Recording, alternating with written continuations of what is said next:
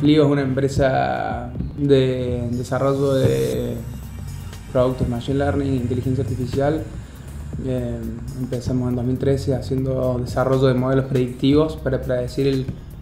el, consumo de la gente o que es hoy en día le vendemos la licencia de uso de ese software y esos modelos a, a grandes compañías, más que nada en Estados Unidos eh, y Canadá y ahora abriendo Brasil. Ahora se rotó una empresa que, desde Córdoba que compite a nivel global, que competimos palo a palo a cualquier empresa que esté en, nuestro mercado y habiéndolo hecho con gente de Córdoba, desde Córdoba,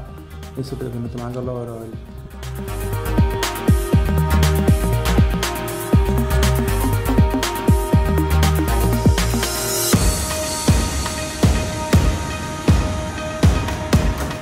Pero creo que lo que se puede ver, digamos, es que, que tratamos de impactar, de contagiar que haciendo las cosas de acá se puede competir a nivel global en todo el mundo, de igual igual.